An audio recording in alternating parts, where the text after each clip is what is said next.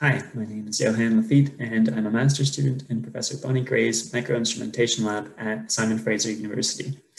And welcome to my presentation on a screen printable polyaniline composite for pH sensing applications. Our group has been working on making wearable devices like ECG electrodes and microfluidic channels uh, integrated onto clothing or textiles. And as a next step, we've started looking into making wearable biosensors. Uh, naturally, we looked at sweat as a means for non-invasive collection of information, given its ease of accessibility and uh, direct contact with uh, textiles. So the monitoring of skin pH has some important implications for things like sports medicine and hydration monitoring, uh, as well as for things like skin disorders such as dermatitis or eczema, and also for wound healing. Um, the pH of our skin plays a vital part in allowing our cells to function properly and maintaining their skin barrier properties. Um, and in the case of wound healing, sustained increases in the local skin pH tend to indicate the presence of infection. Uh, these graphs to the left of me uh, show the difference in pH for normal versus uh, chronic wounds. Overall, the monitoring of chronic wounds has been reported to cost about $20 billion in the US alone uh, on a yearly basis. And dermatitis reportedly affects about 32 million people in the US, so just shy of Canada's entire population. Uh, so these are issues that obviously still need to be addressed. So our solution uh, was to make a fully screen printable polyaniline composite uh, for pH sensing applications. Uh, polyaniline is a semiconducting polymer uh, whose conductivity is affected by its degree of protonation, uh, which makes it an ideal material for uh, use as a pH sensor.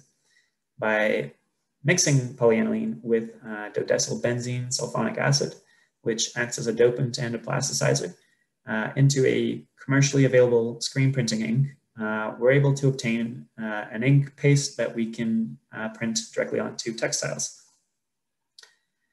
So uh, we tried a few different formulations, increasing the uh, polyaniline weight percentage and found a percolation threshold of about 20% weight uh, where the resistivity uh, decreased dramatically. Um, above about 35% weight, we start to see a decrease in the mechanical properties of the print. So there is a trade-off to be made there between the overall print quality and the uh, conductivity or sensor response. Um, then using our, our optimized uh, polyaniline composite formulation, which was about 30% weight, uh, we then proceeded to screen print it as the working electrode of a two electrode uh, configuration uh, next to a silver silver chloride reference electrode. Uh, this was done so we could measure its pH response. Um, so here we just show the order of the screen printed layers, which were manually screen printed uh, by pulling the ink over a patterned adhesive sheet, which was cut out using a laser cutter. So um, yeah, we then proceeded to measure the pH response by recording the open circuit potential, um, changing the pH by manually switching the solution it was soaking in.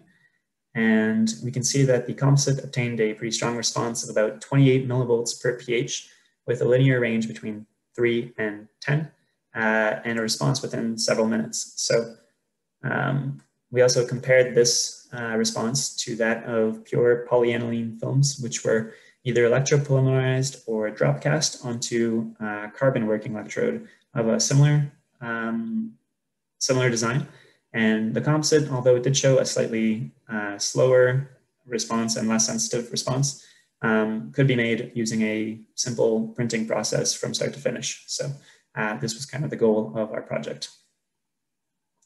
In conclusion, uh, we were able to make a fully screen printable pH sensor, which showed higher sensitivity than existing uh, screen printable pH sensors that was also flexible.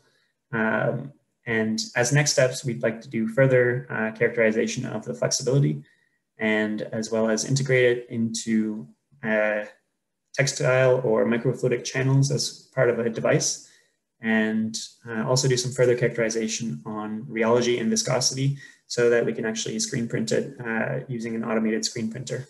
So um, with that, thank you for watching and enjoy the rest of the conference.